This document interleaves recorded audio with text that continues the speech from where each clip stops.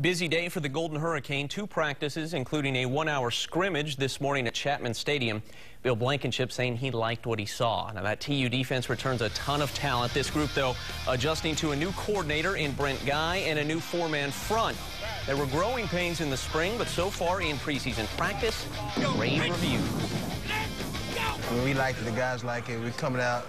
We're flying around, making a lot of plays. Um, I know we made a lot of plays in the spring game, which I know is going to translate over to the season. Um, just, just playing one base defense, I think is going to be great for us instead of playing like multiple defenses in one game. That, that, that'll cause uh, a lot less room for error, so it'd be very good to show defense.